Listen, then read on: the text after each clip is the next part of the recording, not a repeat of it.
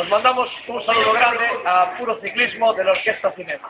Preparaos, este verano hay que romper las bicis.